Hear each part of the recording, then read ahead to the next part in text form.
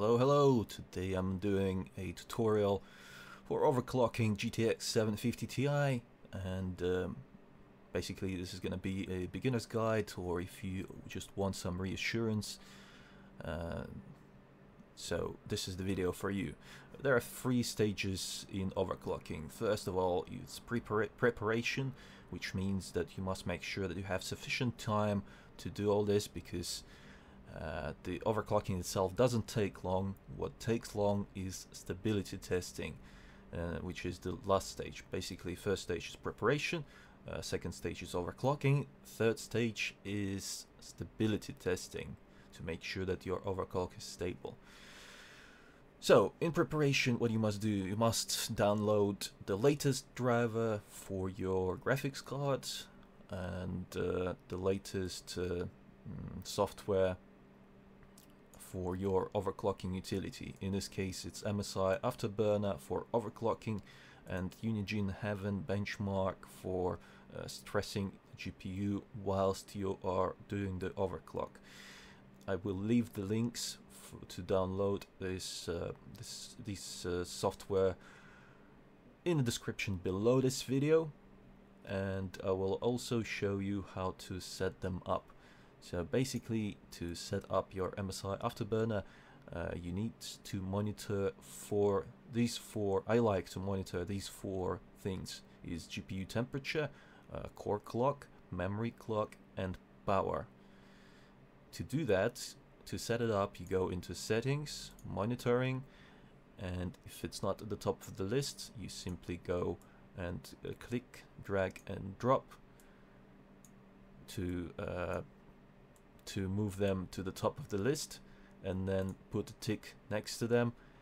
And uh, the, the, the top ones with the tick will appear in here. So as you can see I've got tick GPU temperature core memory clock power.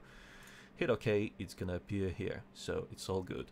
Fan speed I'm gonna leave on auto because uh, Maxwell architecture is pretty cool and uh, GPU doesn't run hot even overclocked. So I'm gonna leave it on auto. It will not run hot at all.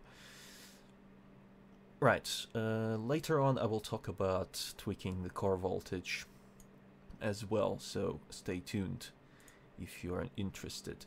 Uh, another thing if you are going to overvolt uh, tweak the core voltage you must make sure that you go into settings and enable this unlock voltage controls So let's begin. Once you've got your MSI Afterburner and uh, Unigine Heaven benchmark, uh, I've set it up to have medium quality, tessellation normal, and 2x anti-aliasing. Run it in windowed mode because on default it says full screen. You just uh, click here, uh, the remove the tick, hit run, benchmark is starting. With Alt tab, you go and select your MSI Afterburner, put it in this corner here, and wait for the benchmark to load up. So next thing you want to do is uh, start overclocking. Because the power limit is at 100% and can't go any further, uh, I'm gonna say in advance that we're going to run into a bottleneck here. I mean, not bottleneck, um, uh, what's the proper word for it? Basically, we're gonna hit the maximum, we're gonna hit the limit and it's gonna become a problem. Uh, but we'll uh, cross that bridge when we come to it. So basically, first uh, what first thing I did here was first thing you want to do is increase your memory clock and you want to figure out what kind of steps are you going to take. I decided to take steps of 25 so basically what I've done was I've increased it by 25 every step. So step 1 was 25. Increased by 25, hit apply, and then you watch and then you watch this picture here for any signs of instability which will be shown as uh, visual artifacts, visual defects, uh, basically any textures flickering, uh, any uh, sort of strange colors, textures missing, dark spots uh, or just all kinds of spots everywhere Uh, as you can see, there are some problems with shadows, don't worry. So basically what you want is you want to run your benchmark before you start the overclock. Uh, also, you can take the reading from your um, your FPS to compare it to uh, after you've done the overclock. Compare the FPS, how much you've gained.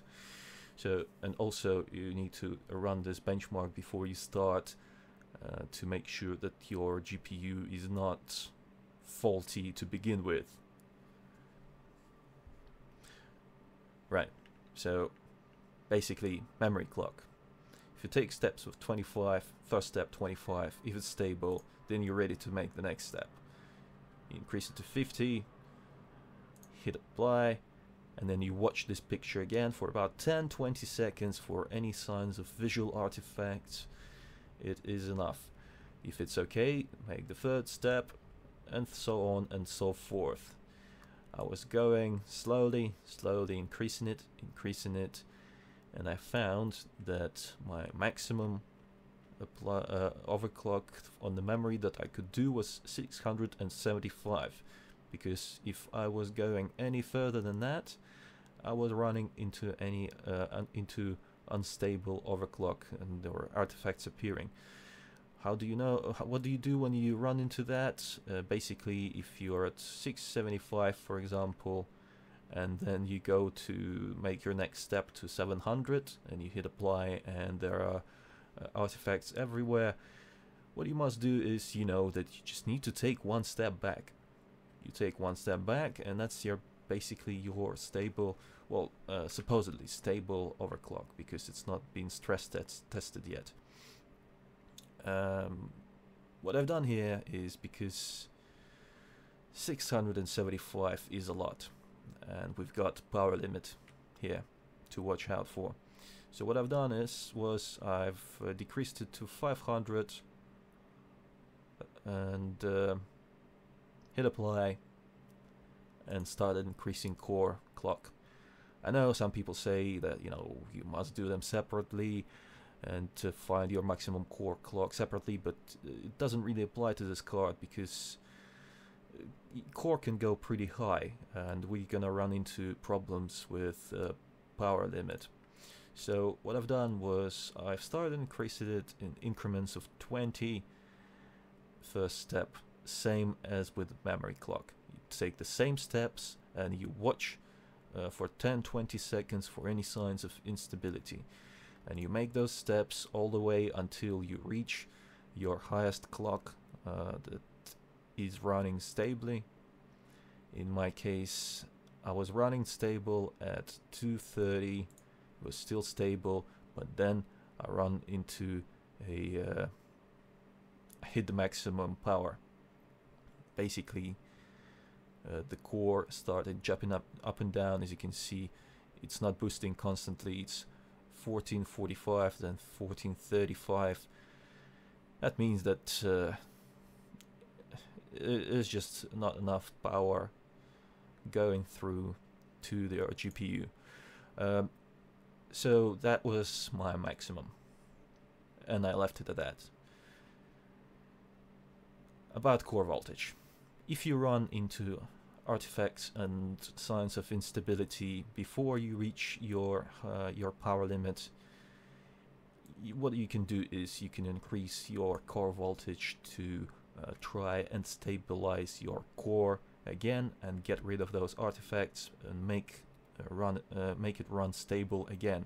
That is what the core voltage is used for. Uh, over on this card it's only plus 31 millivolts in this utility so it's no big deal. You can play around with it safely and um, basically try and increase it if it becomes unstable to make it stable again. But I didn't have to. And the last step is stress testing it. So once you've done your overclock, you can either run this benchmark for about, I don't know, maybe, maybe 20 minutes or so uh, to see if it crashes or if you, any artifacts appear. Um, or, or what you can do is you can save your settings that you've achieved, exit the benchmark, Um, by the way, um, applying, uh, saving the settings goes like this. You can hit save and choose the profile. Also, don't use this apply overclocking at system startup until you are absolutely sure that your overclock is stable. So once you've uh, quit the, uh, th another way to go about it is uh, select your overclock and um, go and play a game. So basically you go into any game you want and start playing uh, as you would normally, but just uh, you know keep your eyes out for any signs of instability in in form of visual artifacts that uh, I was talking about earlier. And that will be your stress testing. And that's the most time consuming thing because you can run for a few hours, no problem, and then suddenly, boom, it's unstable. So if you uh, see that it's unstable, you go back to your uh, to tweaking your core voltage. Uh, not, not core voltage, I mean you can increase the core voltage if you have uh, room for it, uh, but uh, alternatively you just take one step back on your core clock or your memory clock, try to do them both together. Basically you're gonna have to play around with them back and forth, back and forth if you want to find your absolute maximum. If you don't want to find your absolute maximum, you can just choose a safe, um, you can just, uh, for example, if it was maximum at two, plus 230 here plus and plus 600 here, then you can just do something like 450 and 200 and be happy about it. Have that extra free performance anyway, because plus 200 on a core is a lot. Um, you're gonna you're gonna see the difference. It's gonna be um, I don't know on your regular uh, settings. If you were getting something like uh, 40 to 45 FPS, you're probably gonna get 45 to 50 FPS instead. So that's you know considerable um, boost there. But yeah, uh, about the overclock, uh, none of the GPUs are the same, so if you don't know, Silicon Lottery rules apply. You can Google Silicon Lottery to learn more uh, about different batches of uh, chips. And um, yeah, so that's it. Basically, this is the whole thing. Um, make sure to subscribe to the channel if you want to see comparisons. I'm gonna do a side-by-side -side comparison between uh, stock out-of-the-box performance for this card and compare it with the overclocked uh, with the overclocked uh, version that I've done to see what the difference is. And of course I always have more stuff coming out uh, more videos different experiments. So stay, stay tuned for that. Until next time RG out